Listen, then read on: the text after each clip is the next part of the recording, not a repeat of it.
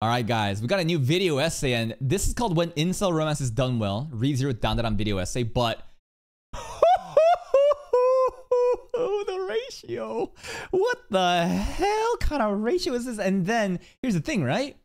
This dude made a tweet, obviously, you know, marketing his content as he should. Got 1 million views, 298 likes. That's a pretty bad ratio.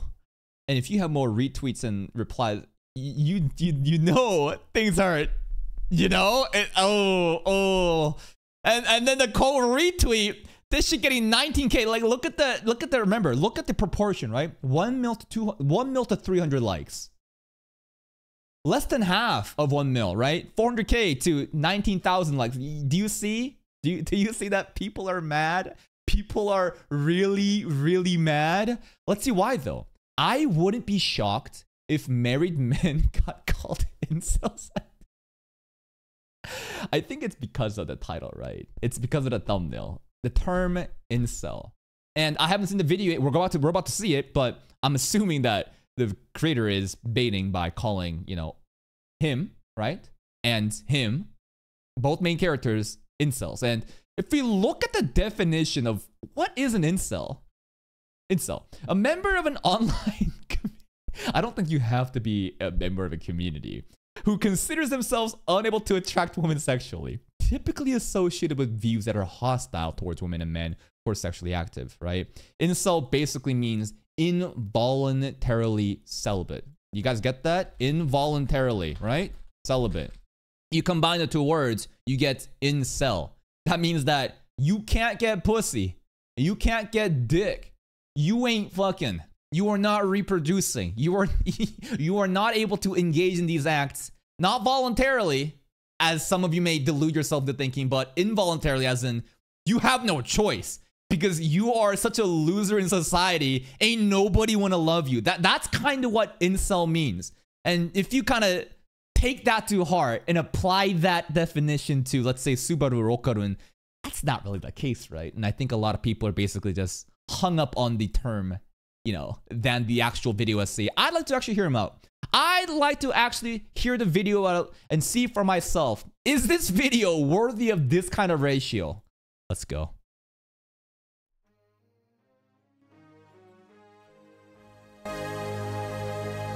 Sick intro. Do women exist for the gratification of men? no. Well, some do, right? No, no, no. Really, I, I, it's a spectrum. Some women do. Some some women get a lot of pleasure. They're proud of their bodies and their looks, and they might not solely exist for the gratification of men, but some feel that being subservient and being useful, right? It, it, truly, like some people do think like that. Like, don't try to think on behalf of people. Many people think different ways, but this is not a blanket statement that can be applied to the entire gender is a question I think has a very clear answer, but for some reason, whether it is those up in the European continent claiming no mere woman can exist in their top 40 characters, except Ichigo's dead mom, or the mountains of anime, manga, and just media in general that have a very toxic view of the role of women in society, you can't help but wonder if common decency is even common. However, the type of dynamic I want to look at is how mm. anime use a female character to help a male character overcome their deepest of insecurities. And of all the animes to pick to highlight, the fundamental point is, and I agree with this shit, anime gets used where these losers fucking these these actual losers that do nothing with their lives get reached out by the hottest most popular girl for no reason and those are the true power fantasies and those are those are oh sorry those are the rom-com shows, bro. Not ReZero, not Dandadan, right? You want to make a video essay on this specific topic? You should have picked any other rom-com series that exists. There's so many of them, but here's the thing. Do you think that those are going to get the clicks? Do, do you think those are going to get the views? No. ReZero and Dandadan are the hottest fucking new animes trending right now. So let's see how he pivots and applies this mindset of people that don't deserve anything. Like, like, let's hear this part again, right? Let's hear this part again. However, the type of dynamic I yeah. want to look at is how anime use a female character yeah. to help a male character overcome their deepest of insecurities. female character only exists or majority exists to for growth of the male character. That's pretty much it. And I, I think that is if you take that premise, you could say that about Subaru. He does. There's a lot of different girls that helps him out. Not just girls, guys too. Okarun? Now I haven't finished Dandadan. I'm only on episode two. But based on what it seems like, it looks like the, the whole interaction of Okarun like stepping up is because Ayase literally reached out. Even if she didn't mean to, she felt kind of bad at him getting bullied. So she went there. And in that instance, it's a girl that exists to make the growth of the guy. Now, as long as the girl doesn't only exist for that and has her own growth, it can be mutually beneficial. Emilia and Subaru both, I think, help each other to grow. Season two, it's very apparent. So in those situations, I don't think that it's a one-way street. It's a two-way street. Both are helping each other.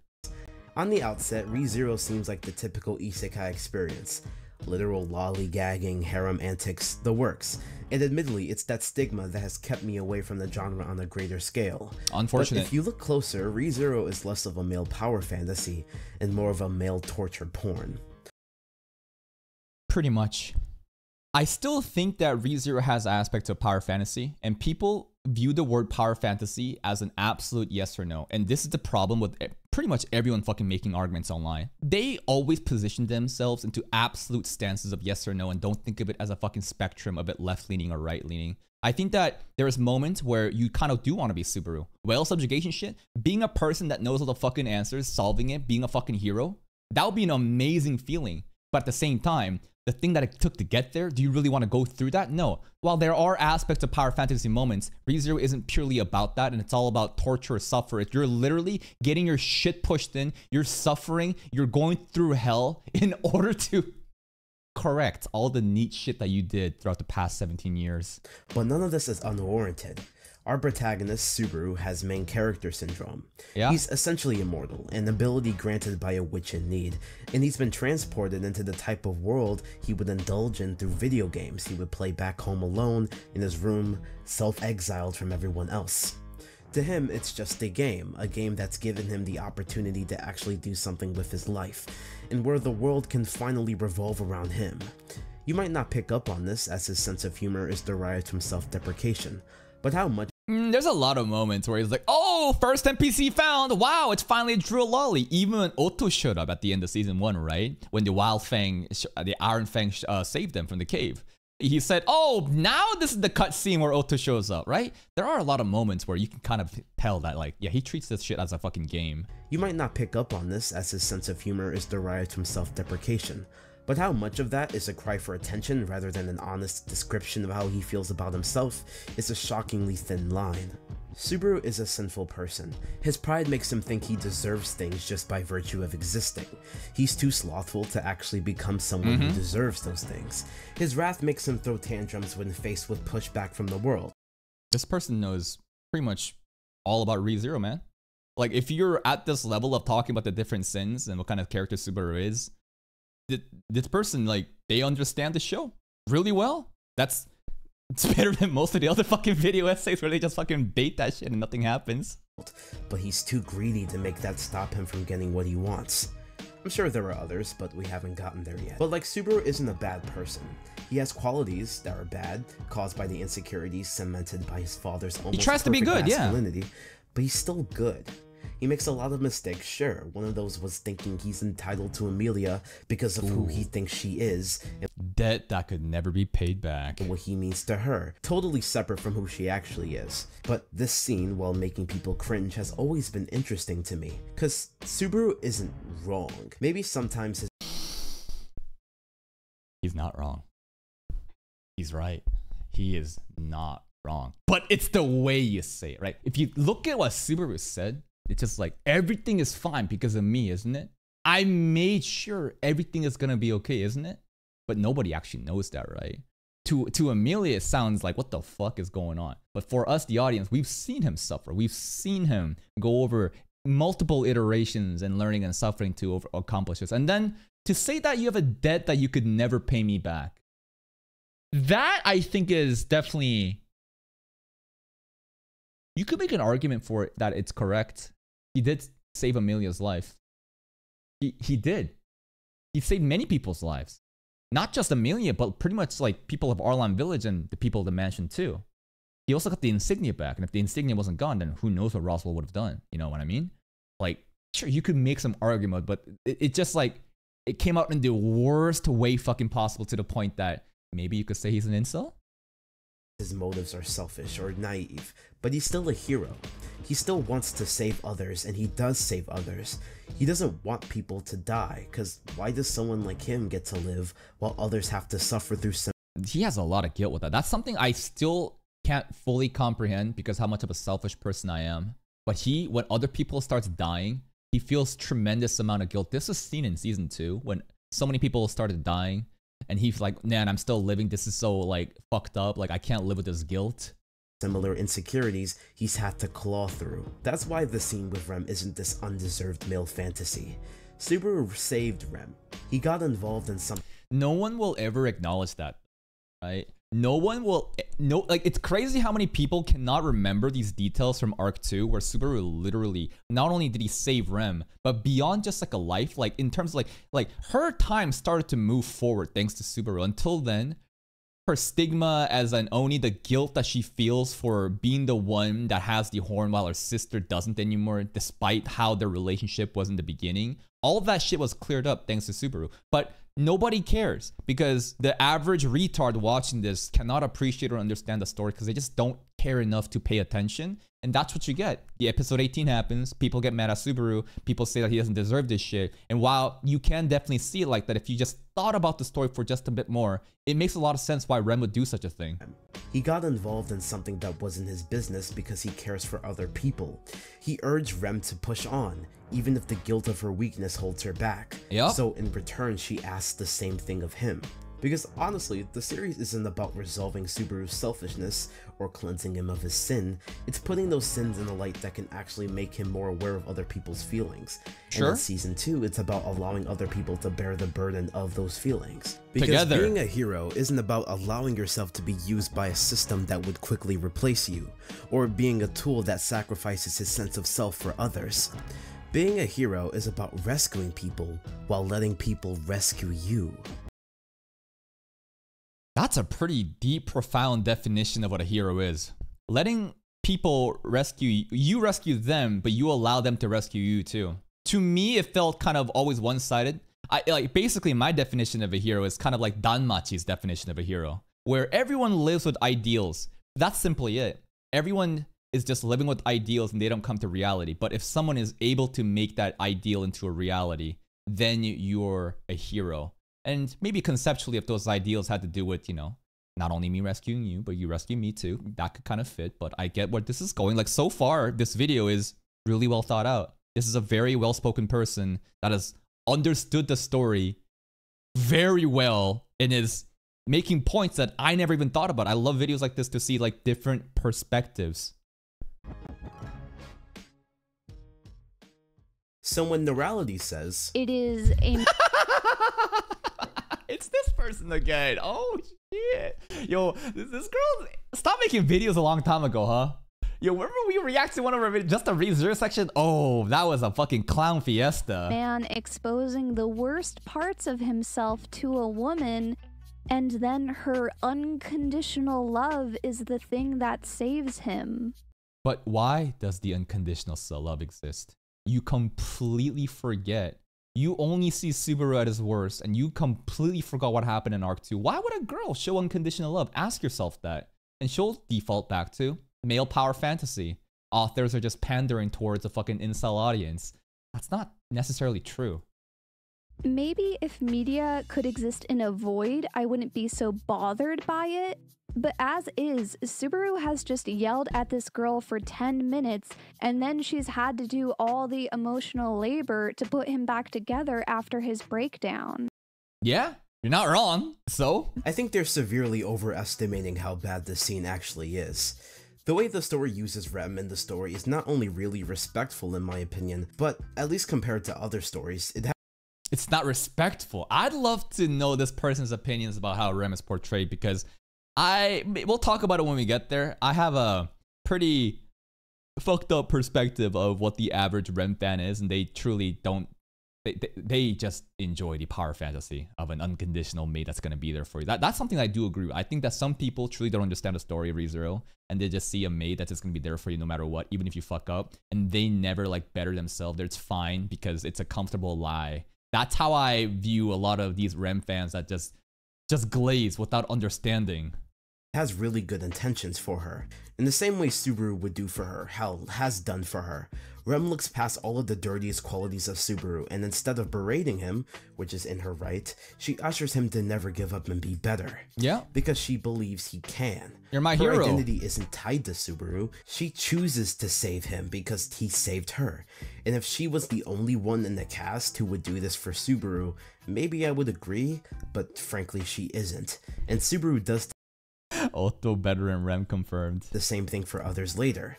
It's a cycle. I think that's what's missing with female characters. They just exist so they can pump out the main character of the sequel series. And that's not me saying that, because It's an observation, man. in the catacombs that I call the shonen manga experience, where every woman gives their entire being, life, Yeah, woman, woman in battle shonen anime, they exist to be a damsel in distress. How many times we gotta save this bitch on screen, bro? How many times? Ichigo Kurosaki. Oh, shut the fuck up! Save yourself. Why don't you save me for once, bro? Why? Why are you getting always kidnapped? It's not her fault. It's the author. It's the the, the authors only sometimes know how to write one style of characters, right? And lately I've been thinking about it's probably not a good idea to compare different genres, but what I really appreciated about Dangers in My Heart, not only was it obviously written by a female author, therefore they know what an actual girl behaves and acts, it wasn't this self insert, you know, perfect, uh, sorry, it, it wasn't this like perfect waifu that's gonna be there and save your self insert dumbass, right? It's not about that she has her own troubles. She has her own shit going on. And yes, she brings out the best side of Ichika and he realizes more of his feelings of like, uh, I'm not a serial killer. I actually, I think I like this girl. And, you know, if I really like this girl, I'm willing to do many things for her. Even like, I don't want to spoil details, but he basically builds her up too and she gets her own development it's not one-sided it's two-sided and once i realized that it's like damn it's so nice to have a female character that exists not for the sole purpose of building the main counterpart but for both both of them to grow and i think that rezero right emilia and subaru i think they're doing that amazingly and to a certain degree we haven't seen enough of dandadan just yet but between ayase and okarun i think they're, they're both building up to the better versions of themselves If heart to the idea of saving that one special person they love with all of themselves, as the story does nothing to repay them. I don't know, man. I I think this is kind of a step up. And by repaying, I don't just mean allow them to get what they want, because usually what they want is the security of the man who hasn't given a crap about them the entire story. Sasuke and Sakura. And why I'm so happy that bitch got knocked up and he left while Naruto and Hinata and they all have a happy family.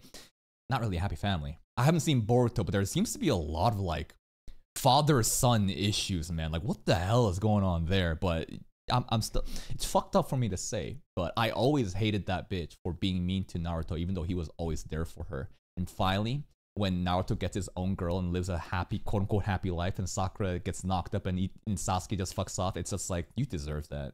You deserve that shit. I don't feel bad for you. until it's relevant. I mean being paid with a moment in the story that they're allowed to exist outside of their male counterparts. An example of that people usually give is Ochako, Uh-oh. a character whose relationship to her favorite Mm, I haven't really seen My Hero, so I got no clue. Are, i- i- are they a good duo? Should we even get involved in this? The My Hero fandom is kind of crazy. boy is one or two conversations in arc and no endgame material. Sorry, anime onlys, but don't get your hopes up. Finally, a woman who can exist outside of the male main character. Okay. Except when she does, she makes an utter embarrassment out of her goal and doesn't succeed in the slightest. And that's just one half of the new gen dynamic duo. I hmm. wish I can go and That was kind of ambiguous and vague, but obviously he doesn't want to give too much details to spoil the show. But it sounded like Ochako, at the end of the day, she was independent, but her resolve had to do with bettering Deku, therefore bad? I- I'm not sure. The detail about how Jujutsu Kaisen treats its female cast. I love and hate how Jujutsu Kaisen treats their female cast because JJK whores out its guys more than the girls, and I don't know how to feel about that. There's a lot more fan service for the ladies than the guys, you know. I'm just give me a little bit more maymeys, you know. Just, just, give me a couple more waifus for me to just like look at. Like I, it's a bunch of dude. Nothing wrong with that, but but the the way that the girls were portrayed in Jujutsu Kaisen, strong, independent. I don't need to save. You don't need to save me. I can save myself. Mei super confident, super strong. Todo Aoi's mentor, super independent, super strong. Nobara, same thing, right? But let's just say if you're saddened by the lost potential of Nobara, just assume the same thing will happen to your favorite girl. the status of Nobara at the time of getting shot at Shibuya incident, not shot, but the eye popping out, it's unknown. I think there's a very, very high chance she comes back with an eye patch. And there's a very high chance that Maki and Nobara, their quote unquote death. Nah, man. I don't. I, I, I, until I get a confirmation, nope. Nope, they're alive in my head. They're gonna come back with a different design. Honestly, the best examples of good female characters we have in popular shonen right now are Chainsaw Man, with its women being the abusers and not the abusees for once. So and men love it. Men. They go put a collar on me. Oh, please! I want to be groomed, gaslit, manipulated. like so many dudes are so fucking down bad that yeah if this is how you get the affection from a woman then they want that and some dudes are just masochist and they want to be subservient to a very strong girl that's gonna put you on a leash nothing wrong with that but it is kind of funny that you know makima is like a pretty good representation of what a strong female would be in like the shonen series. I, it's a seinen, right? Or Chainsaw Man, with its women being the abusers mm. and not the abusees for once. So nice. there's that. Uh, Black Clover, where Noelle is probably the best character in the story because of the depth Tabata afforded her familial sub. It's looking like Black Clover did their girl right. Plot? Well, until he didn't. And Demon Slayer. Maybe they fucked up. Demon Slayer, the girls, uh, Mitsuri, Nezuko. Uh, there's there's also the butterfly lady. Uh, is there anything? I, mean, I don't think Demon Slayer really goes into depth. It's, it's just unga bunga fighting. There's there's nothing super complex and deep. Maybe you could talk about like Mitsuri and you know the Snake Guy's relationship, but not really. Is there? there? Yo, what what the? Why the f is that the clip that's playing? This is to say nothing about how the big three treat its women. If you're not hypersexualized in Bleach, you're lying in wait for a man. Go back, go back, go back. Three treat its women.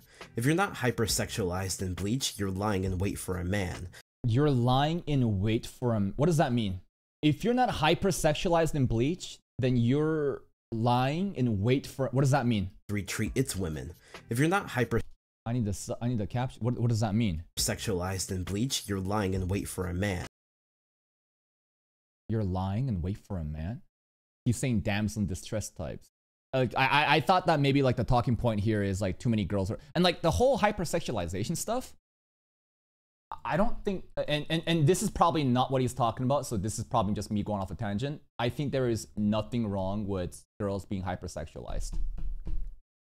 I think that a lot of girls love super sexy girls too. Same with guys too. Guys get hypersexualized too. If you look at honestly like the current standards for men and women, like dude, they say the girls are too hypersexual. Dude, the guys, you have to be like a six foot four fucking giga chat with a jawline of fucking Adonis with like a fucking 10 pack and like more burly chest. Like the guys get hypersexualized too. There's nothing wrong with propped up aesthetics. I think that's perfectly fine. But if that's all you have to offer in this show, right? If you as a character are nothing but a pair of titties, it's kind of sad, right? Treat its women. If you're not hypersexualized in Bleach, you're lying in wait for a man. Whether it's the abusive brother who, despite the series never allowing a proper reconciliation for on screen, you're shown to be obsessed with the approval of, or having your willingness to- Hmm, Byakuya and Rukia. It's been a long, long time since I've watched Bleach, but he did pretty much. What was his excuse? Didn't he say something at the end of Soul Society arc about how he actually loved his sister so much and that's why he was doing it?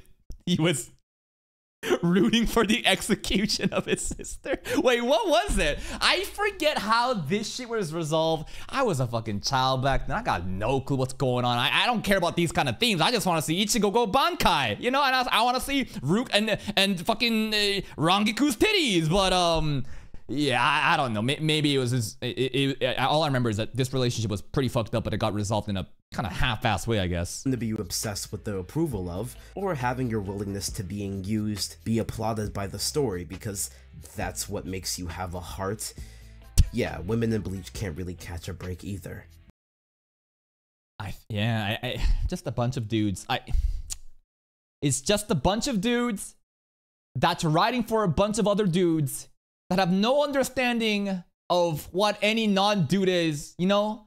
I don't think Tite Kubo or fucking listen, who am I to criticize these great mangakas be, uh, like behind Naruto, One Piece, Bleach, whatever these battle shows we're talking about, right? But the target audience does not care about these things. They just want to see hype shit. And yes, it sucks that the female representation seems to only exist to serve the man for the better of him. At the end of the day, I don't think a bunch of young kids want to see that aspect of a show be talked about. It's battle shonen, it's a shonen jump. Young men, horny, stupid, excited, hype fights, big titties, number go up, don't care about writing good characters. I think it's just that. So take your pick. Would you rather a woman give and give until all that's left are boobs to squeeze, or a woman who tells a terrible person to stop being a terrible person? Neither. There's gotta be a different option. It can't be just these two. How about, how about again, Anna Yamada from Dangers in My Heart? Or even Emilia, right? And I'm sure we're about to go to Dandadan and ReZero right now, right?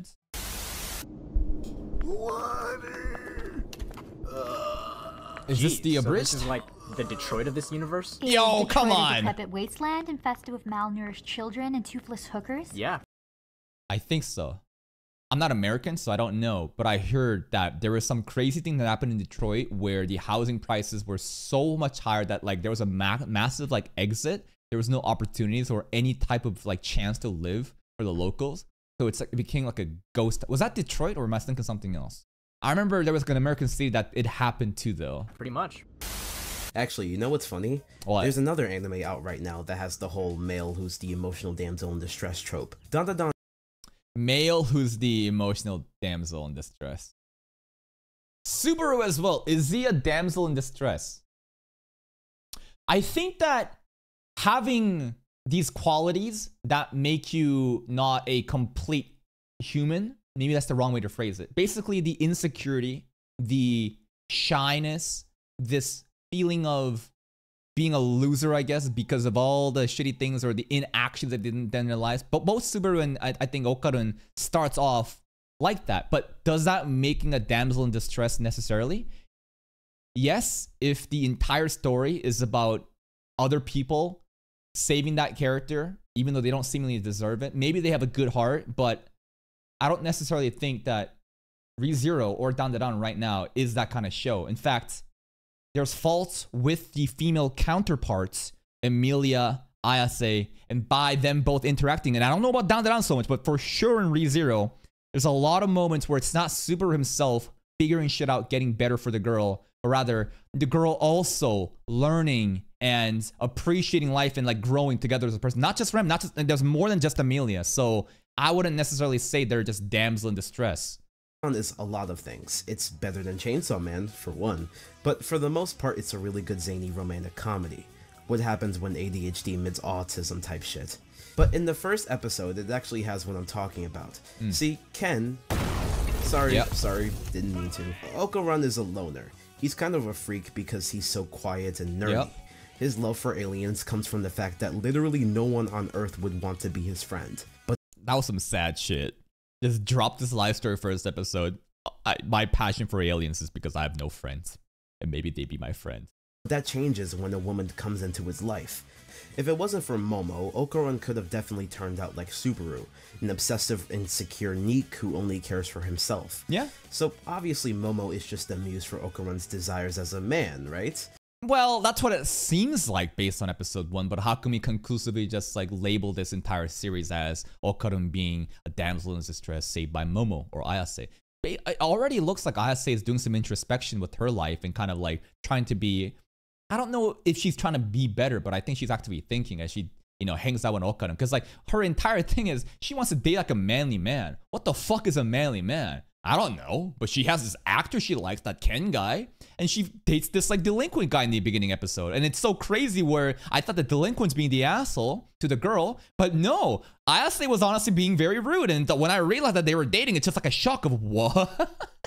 this is kind of funny. But I'm sure as she spends more time with Ken, uh, with uh, you know, his name is Ken, but we can't say that yet. It's Okarun because she doesn't want to associate the Giga Chad named Ken with this fucking dweeb. Not just yet. There's moments where I think Ayase is figuring out what might she actually like, and it's not so one-sided.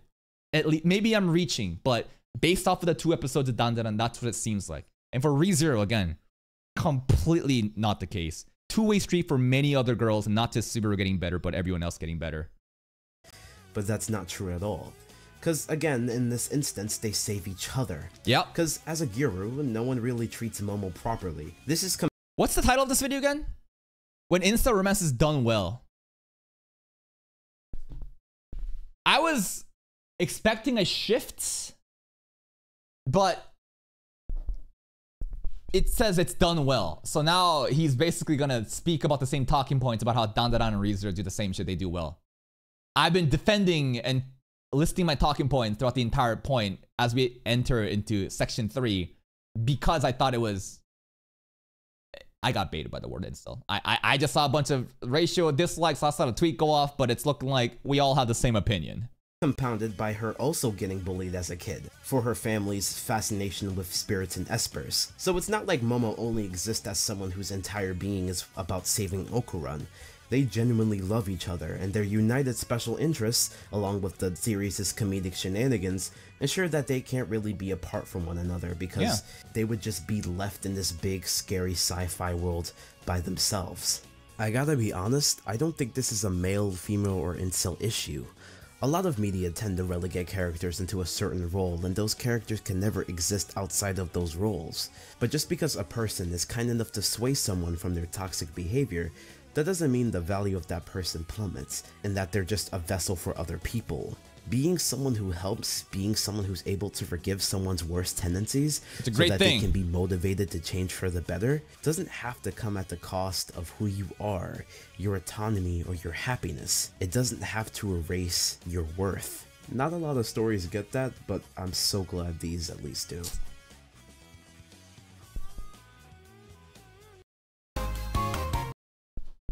Let's talk about this video. I think it's a good video, and you guys should go check it out. But I think um, the point of this video right now is not about ReZero Dandadan. The point of this video is what happens when you fail to deliver on the promises on the title of a video, right? Because this says when incel romance is done well. And is this volatile? Of course it is.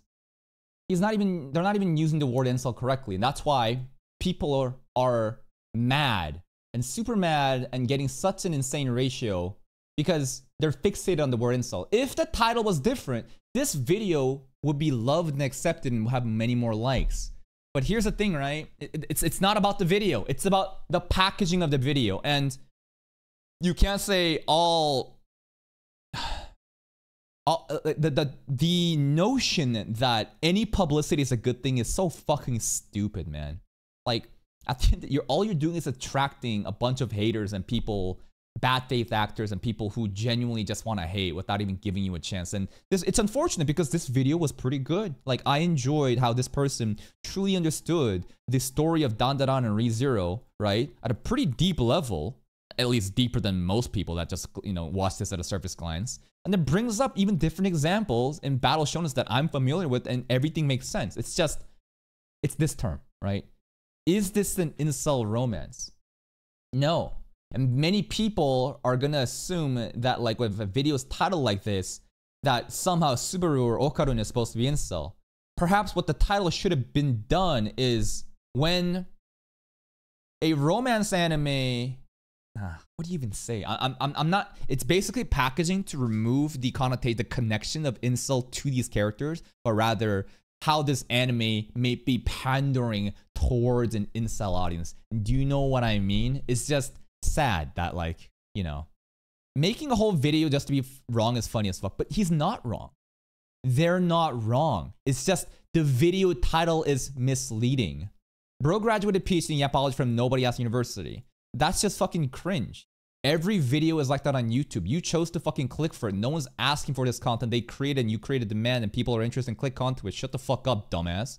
You were straight onto nothing, Lamau. Again, see how these comments are going to be even more hostile? I guarantee you, if this title was different, if there wasn't a brigade of haters due to these tweets, right? It would be such a different comment section of people saying, wow, you had a rel- I, I feel the exact same way about you. You know what? I never even thought about these shows like that, but like you have a lot of good points. But a lot of dumbasses are gonna just see the title, they're gonna get triggered off of this shit. And can you really blame them, right? Like you you you did you, you did do this, right? It's come on. Like everyone knows what we're doing here. We're all playing the game of YouTube. We're all trying to create sensationalist titles and thumbnails, and you're trying to bait and you're trying to get the outrage. And this happens to be an example where it gets the attention from some insane people on Twitter, and maybe there's some partial truth to it, and you're gonna get dogged on. And it's just sad to see this happen, but I think it's a pretty good case study where even if a video is good, the packaging and the way that it's presented can really piss people off. Please go check out their channel if you haven't. Here's the link, and I will see you next time.